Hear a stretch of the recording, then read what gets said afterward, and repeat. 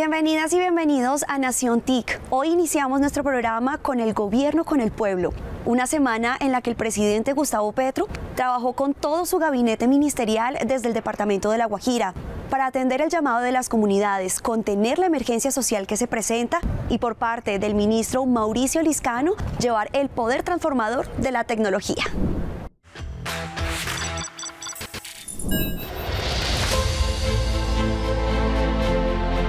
Le encontramos acá en el municipio de Uribia, acá en La Guajira.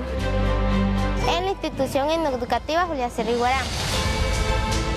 Por los motivos que necesitamos y es importante tener la tecnología en nuestro colegio es porque muchos niños y jóvenes no tienen la capacidad de poder hacer sus tareas y pues el colegio es más beneficioso ya que en horas de recreo, en horas de clase podemos usarlas. Cuando se entregan computadores inmediatamente sale un interrogante y es que el computador sin conectividad sirve poco.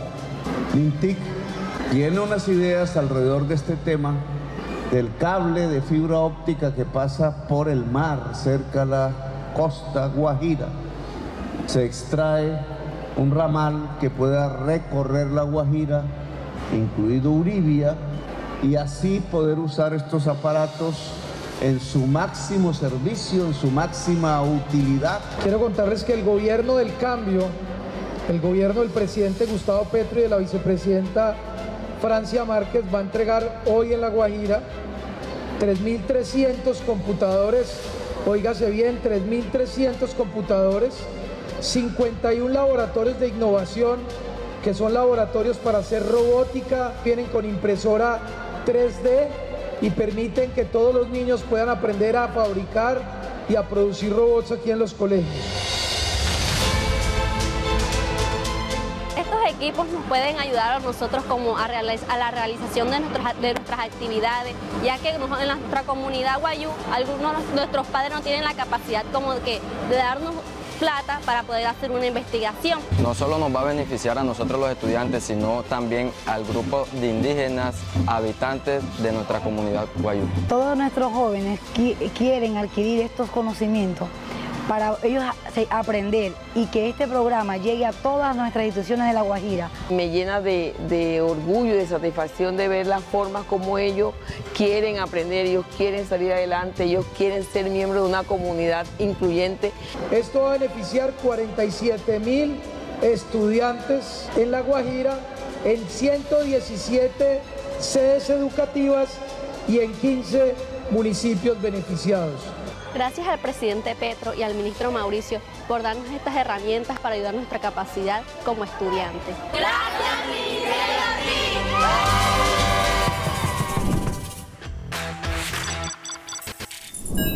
Los computadores entregados a las comunidades indígenas están en las mejores manos. La tradición bilingüe de los niños y niñas facilita enormemente el aprendizaje de lenguajes de programación. Además, la región recibió la visita de la EduMóvil, un camión con equipos que brinda formación audiovisual de calidad para niños, niñas y jóvenes de todas las regiones de Colombia.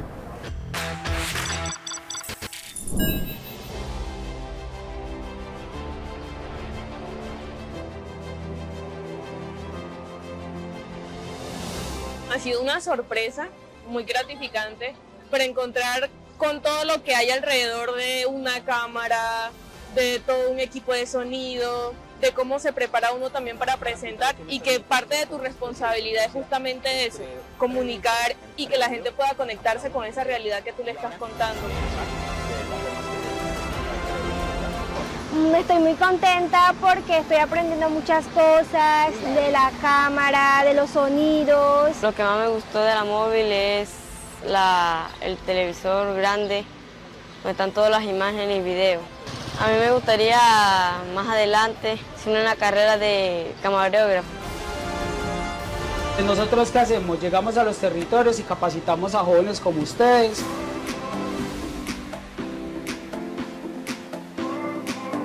El reto de la Móvil por Colombia aquí en Uribia es hacer una transmisión en vivo y en directo para la presidencia. Tenemos que ser muy profesionales con los 80 jóvenes que estamos capacitando para que esta transmisión salga. No solo se transmitirá por Teleantioquia, sino por diferentes medios del país. Para mí fue importante porque primera vez que estoy conociendo a los profes, ellos compartiendo su conocimiento.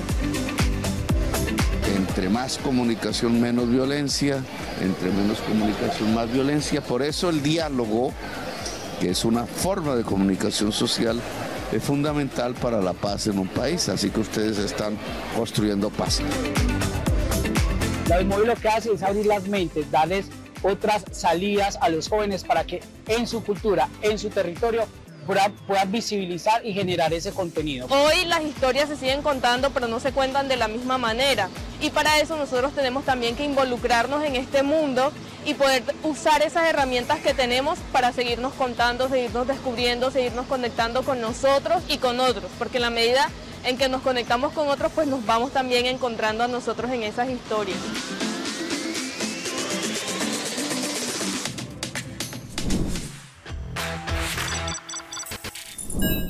Junto a una interacción apropiada con la tecnología, la revolución digital comienza con la conectividad en cada hogar.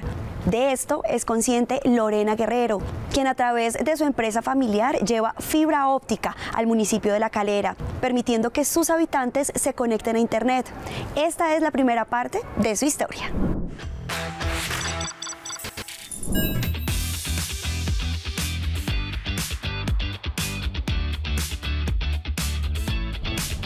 Es la UPZ 89, que todavía hace parte de la localidad de Chapinero.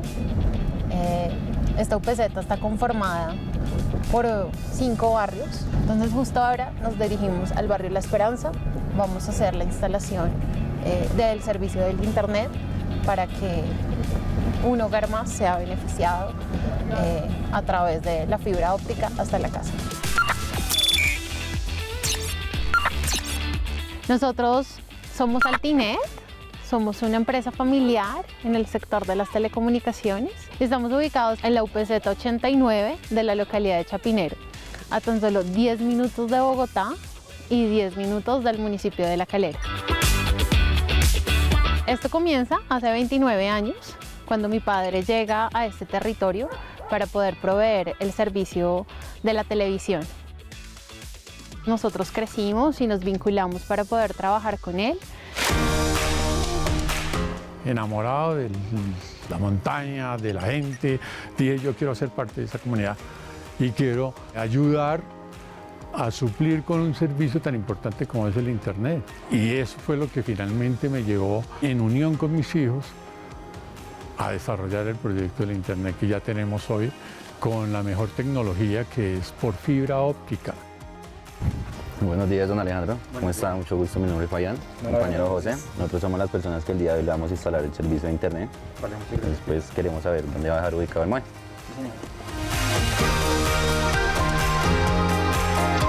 Para mí es muy importante el Internet porque puedo comunicarme con mis familiares que están fuera del hogar, ya que la telefonía celular por aquí no es muy buena. Y para mis estudios o para ver redes o para jugar, todo es muy importante, siempre el Internet. Durante todos estos años hemos tenido la oportunidad de articularnos con la comunidad, eh, con diferentes organizaciones sociales, colectivos de jóvenes, los los líderes comunitarios.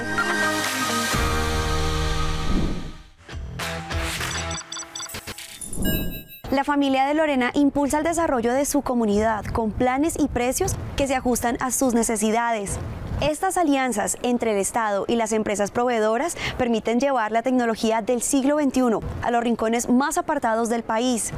Esto hace parte del salto tecnológico y social que necesita Colombia, algo en lo que el Ministerio trabaja incansablemente en todas las regiones del país, como veremos a continuación.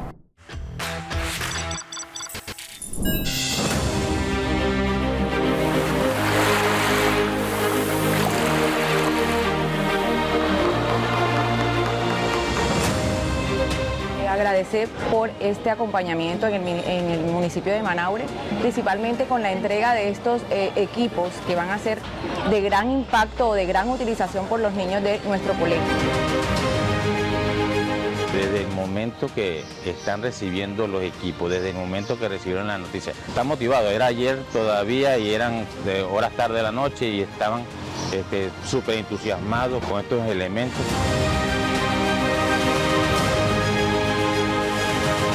Manaure, uno de los problemas que aflige el municipio es el agua y esto sirve para poder saber la calidad del agua y su consumo humano para que no tengamos problemas con sobre la salinidad o los sólidos que estén disueltos en el agua. Lo más importante del dispositivo es el sensor con el que se mide el agua que está conectado al monitor. Programación fue un poco difícil, pero no se nos complicó tanto ya que nosotros desde noveno hemos, hemos venido trabajando con lo que es programación en Arduino.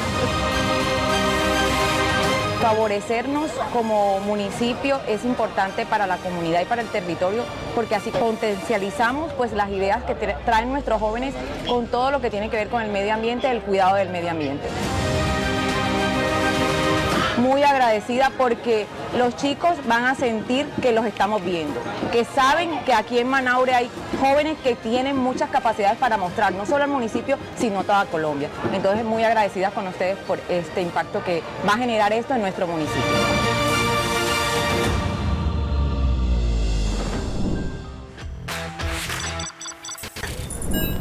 Desde el MINTIC seguiremos trabajando para consolidar el cambio a través de soluciones concretas, llevando infraestructura y educación digital a todos los territorios, así como lo hace la familia de Lorena, que brinda oportunidades e igualdad de condiciones para la educación digital de niños y niñas de escasos recursos.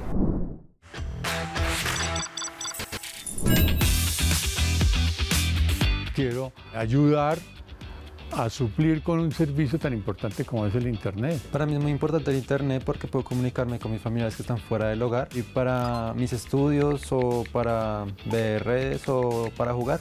Eh, todo es muy importante, siempre el Internet.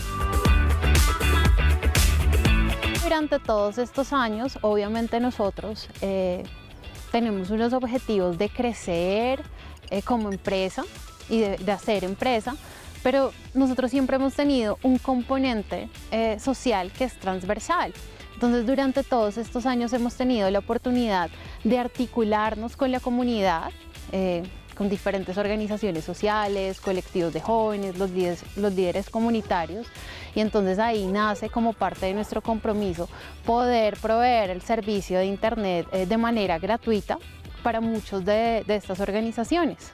Por ejemplo, eh, acá en Casa Taller, con Nicolasa, eh, que tiene un proceso social muy lindo con los niños que asisten todas las tardes, principalmente a hacer el tema de alfabetización y, también del buen uso del Internet. Uno de los principales usos del Internet ha sido garantizar la igualdad de las condiciones en la educación de los niños. Después de la pandemia, la Escuela Campestre Monteverde eh, consiguió seguir con estos grupos de WhatsApp y han habido momentos donde la información del colegio la mandan por WhatsApp a los niños, guías.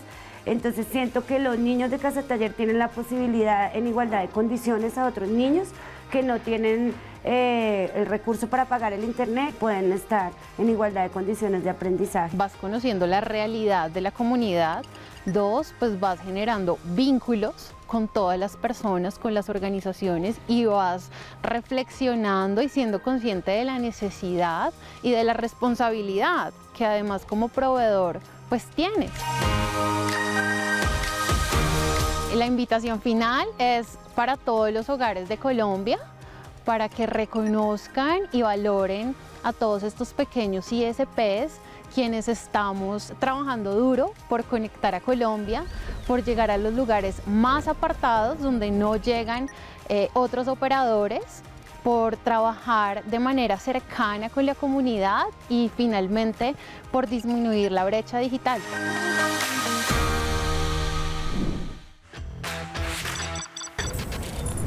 La familia de Lorena es un ejemplo inspirador de cómo marcar la diferencia con la tecnología. al igual que la gestión del ministro Liscano, quien está haciendo un ministerio de gestión, pasando del discurso a los hechos, materializando la apuesta del gobierno del cambio de transformar a Colombia con conectividad, ecosistemas de innovación y educación digital.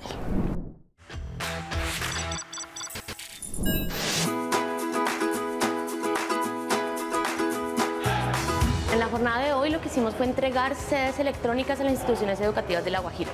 Con esta herramienta, estas instituciones van a poder mejorar todo el servicio a los, eh, a los estudiantes y a los docentes. ¿Por qué? Porque van a poder cargar contenidos, generar módulos virtuales y, pues, en últimas, mejorar la calidad educativa. Hoy el Ministerio de las TIC nos ha formado en el uso de las aulas virtuales, esta herramienta tecnológica que permite que cada institución dé a conocer cuáles son sus procesos, cómo ayuda a sus estudiantes a transformar sus contextos sociales y cómo podemos mantener informados en la comunicación a nuestras comunidades educativas, especialmente a nuestros padres de familia y comunidad circundante.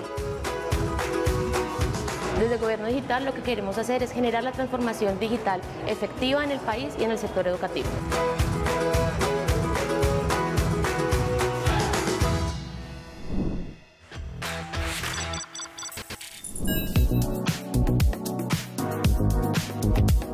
Celebrar la inclusión tiene todo que ver con reconocer al otro desde su diferencia, desde su diversidad. Como sociedad avanzado en el reconocimiento de los derechos humanos de diferentes poblaciones y hoy es un día de celebración. Eh, es fabuloso que Mintix se ocupe de reconocer quiénes son sus usuarios, quiénes son los sujetos a los que atiende. Hace 44 años se empezó este movimiento para que definitivamente pudiéramos reconocer la libertad, el color y el reconocimiento de todos y todas. Por eso nos unimos hoy para conmemorar y dar color al MITIC.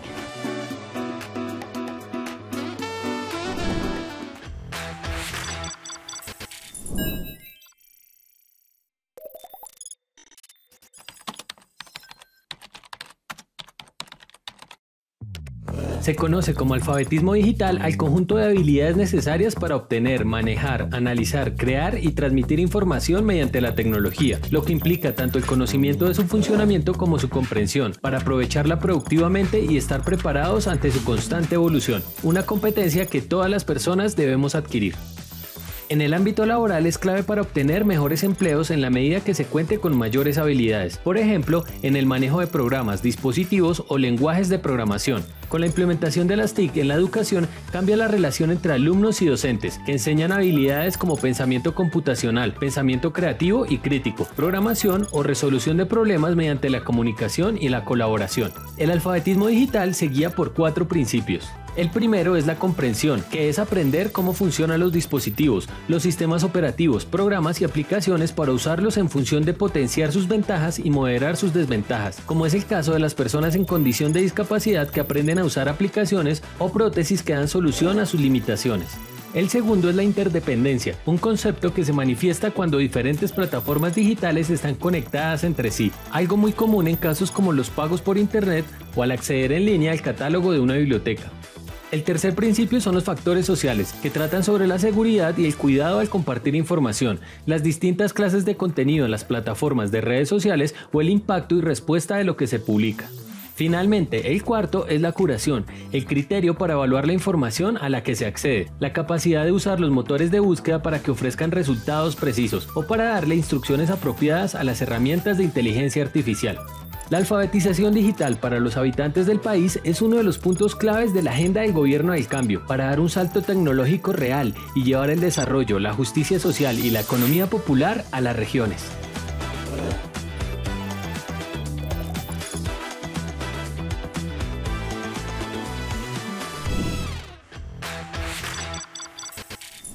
La alfabetización digital es clave para una apropiación tecnológica responsable, porque sin habilidades para aprovecharlo, un computador carece de valor.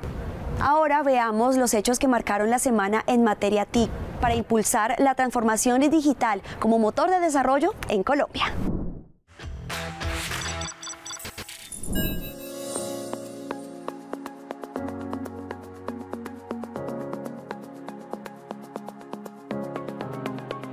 Porque la transformación digital es fundamental en el gobierno del cambio, el MINTIC junto a Google y Colnodo anunciaron una alianza educativa para entregar en todo el territorio nacional 4.000 becas para promover el empleo joven e impulsar su desarrollo profesional en el campo de la ciberseguridad.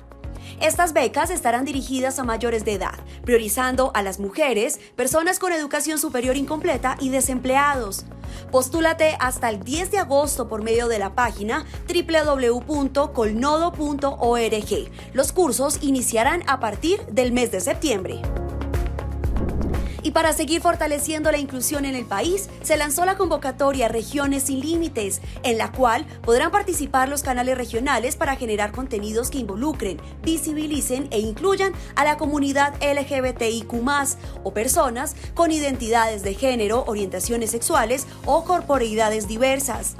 Para este año se tendrán dos categorías. Producción de nuevas miniseries documentales, donde se elegirán 17 miniseries documentales de tres capítulos de 12 minutos cada uno. Y producción de nuevos unitarios documentales, que financiará la producción de 12 unitarios documentales de 40 minutos cada uno. En ambas categorías se deberán contar historias de vida de personas LGBTIQ. Los canales regionales podrán conocer los términos y condiciones en la página web del Ministerio, en la pestaña de convocatorias.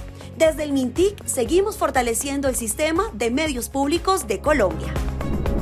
Quedan pocos días para finalizar la convocatoria Jóvenes que Transforman, que impactará a colombianos y colombianas entre los 18 y 28 años de los municipios de Leticia, Valledupar, Tumaco, Manizales, Cincelejo, Hacha, Puerto Inírida, Pamplona, San Andrés e Ibagué, quienes recibirán formación en temas audiovisuales. Realiza tu proceso de registro en www.jovenesquetransforman.com. ¿Qué esperas para ser parte de esta convocatoria? La fecha de cierre es el próximo 7 de julio.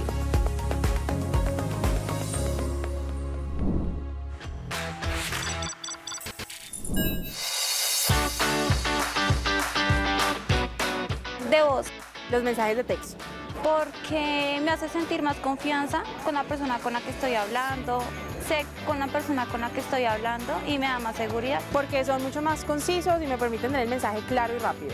Prefiero las notas de voz. Pues prefiero más los mensajes de voz en la actualidad. Creo que el mensaje puede llegar mucho más rápido, es más fácil oír. Siento que los mensajes de voz son más rápidos, más estratégicos, más explícitos a la hora de, llevar un mensaje o cualquier calamidad o emergencia. Los mensajes de voz. Los mensajes de voz. Porque permiten una comunicación más rápida eh, lo puede uno hacer digamos con unos audífonos o, oyendo digamos de camino mientras que se puede uno desconcentrar si lo hace de manera visual porque puedo ser más expresiva, puedo decir lo que quiero decir con la entonación y con las palabras que quiero decir. A diario se envían cerca de 200 millones de mensajes de voz por WhatsApp y la tendencia aumenta por sus ventajas. Para más del 60% de los usuarios es más fácil grabar y enviar un mensaje largo que escribirlo. Se evitan confusiones en la redacción y la lectura, y para las personas con discapacidad visual son de gran ayuda. Sin embargo, los mensajes de texto son más concretos, de más fácil acceso y los prefieren personas a quienes les causa estrés enviar o recibir mensajes de voz. Ya sea por mensajes de texto o de voz, lo importante es entender que aunque una persona esté en línea, no significa que esté completamente disponible y debemos controlar la ansiedad que nos genera cuando no hay respuesta inmediata. Muchas veces no se puede contestar tan pronto se nos escribe, y menos cuando se trata de un mensaje de voz que requiere el espacio y la disposición para escucharlo.